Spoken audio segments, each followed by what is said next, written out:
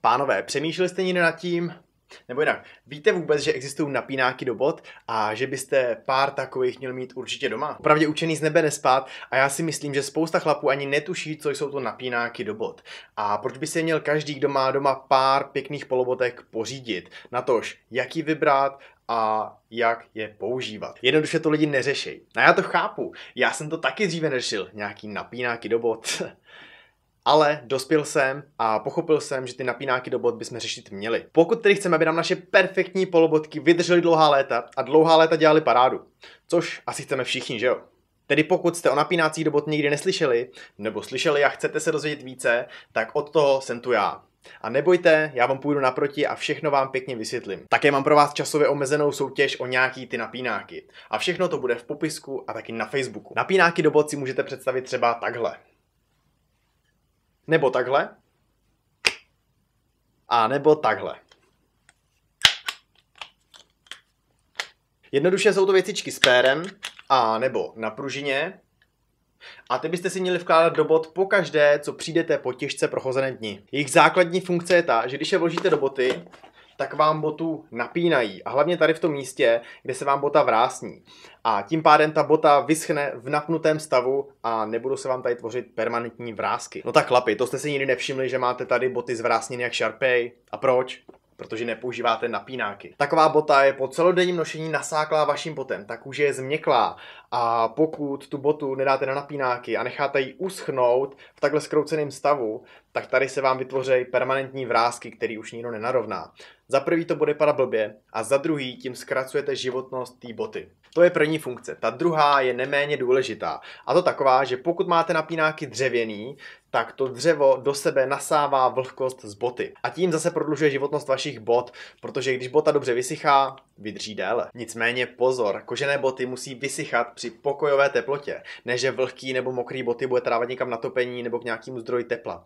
Tam bota vyschne ultra rychle, až moc přeschne a kůže vám popraská a nemáte nic. Jestli jste koukali na nějaká má předešlá videa, tak víte, že investovat do kvalitních polobotek se vyplatí. Za prvé, déle vydrží, za druhý, stárnou do krásy, když se o ně staráte, a za třetí, budou vždycky in. No a když už jste investovali nemalou částku do kvalitních polobotek, tak je záhodno pustit nějaký ten peníz do napínáků, aby ty vaše polobotky vydržely co nejdéle a v tom nejlepším stavu. Taková investice do napínáků se různí a vy posuďte sami, kolik chcete pustit žilou. Můžete koupit základní plastový napínáky z IKEA za 30 korun. Takový napínáky vám botu sice nevysuší, ale aspoň vám ji udrží napnutou. Také jsou velmi lehké a skladné, takže na cestování ideální. Nevýhodou těch napínáků na pružině je ta, že jsou univerzální. Vepředu botu sice napnou, ale vzadu ta kulička může deformovat platu, což není dobře. Tyhle plastové bazmeky ovšem nic moc nevydrží, ale zase stojí 30 kaček, což je jedno pivo, ne? Tohle konkrétně jsou teda dámský, protože po ruce se neměl pánský, ale ty pánský jsou jenom o něco větší, jinak je to nemlich to samý. Dále máme napínáky dřevěné a také na pružině. Na první pohled jsou už o poznání lepší. Lépe vyplní tu botu a jelikož jsou dřevěný, tak už odsávají pot. Také se vyrábí ve velikostech vaší boty a plus minus jedno číslo, takže si vyberete, který vám pasují. Stačí je takhle nahulákat do boty a máte hotovo. Jejich benefit je v tom, že jsou cedroví, a stojí cirka 200 zlatáků. A proč cedrové? Co je na tom tak zázračného? Cedr pěkně voní. Nicméně po pár týdnech vaší propocený boty už to nebude tak znát, ale to je vedlejší. Cedr hlavně dobře absorbuje vlhkost z vaší boty. A prý zabíjí i hnilobné bakterie a má dezinfekční vlastnosti, což je klíčové. Doma jsem také našel tyto old school dřevěné dubové napínáky. To už není taková paráda jako cedrový, ale když není k zbytí, tak je to taky fajn. Takové napínáky a jedno, který by měly být v botě při nejmenším 24 hodin. To vám zamezí tomu si boty druhý den obout. Ono by se s těma napínákama asi blbě chodilo. Nicméně pro kožené polobotky platí pravidlo, že by minimálně den měli odpočívat, aby se kůže vyrovnala a pěkně vyschla prodloužíte tím jejich životnost. Jako každé oblečení, tak hlavně boty potřebují mít klid. Takže s jedním párem si na každodenní nošení nevystačíte, bohužel. Je potřeba si pořídit minimálně druhý pár a mít to na střídačku. Dále máme napínáky, které přesně pasují do vaší boty a dělají se v konkrétních velikostech. 43, 44 a tak dále. Kdo má větší vercajk, tak samozřejmě i 47. Konkrétně já tu mám napínáky od firmy Bexley a vypadají přesně takhle. A dá se říct, že je to to nejlepší, co vaší poloboce můžete dopřát. Tyhle jsou něco dražší a stojí kolem 800.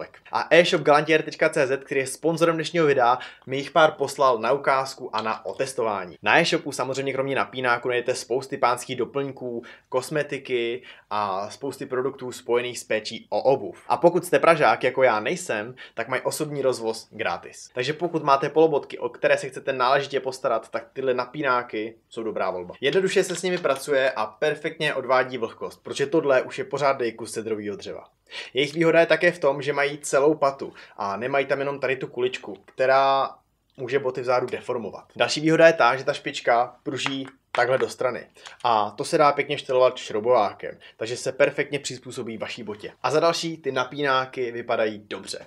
Je to o něco větší počáteční investice, ale noha vám neporoste, červotoč do toho nepůjde a vesměs není, co by se rozbilo. Takže je budete mít do smrti.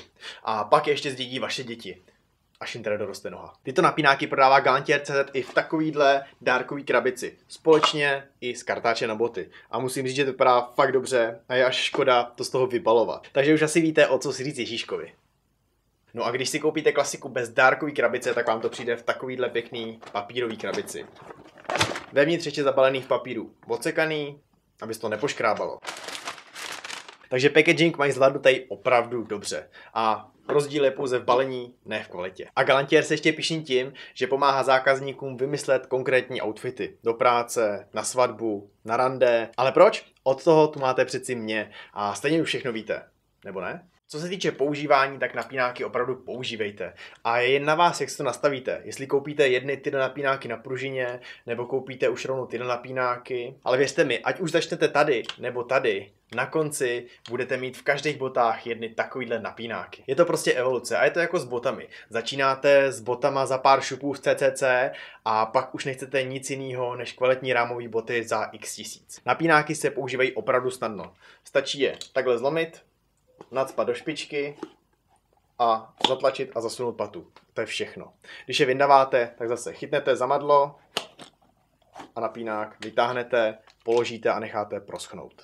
Já osobně mám napínáky jak s tímto kovovým madlem, tak s tímto dřevěným madlem. S obouma se pracuje úplně stejně a je to asi jedno. Napínáky vám také velmi pomohou při krémování a leštění. Bota perfektně drží tvar a vy to máte za co taky držet. Takže tak. Ještě, když polobotky nosíte často, tak je vaší specifickou kůzí sešlapáváte nějakým směrem. A bota se bude po pár letech lišit od jejího původního stavu.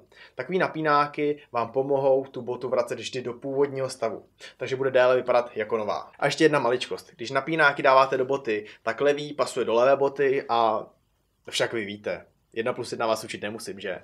Tak a to je pro dnešní video všechno. Pokud máte nějaký tipy, dotazy, cokoliv ohledně napínáků, pište do komentářů nebo mě na mail. Rád se na to podívám a odpovím. Také se nezapomeňte přihlásit odběru, ať máte vždy čerstvou dávku informací a inspirace. Videa si pravidelně. Takže u příštího videa nashledanou.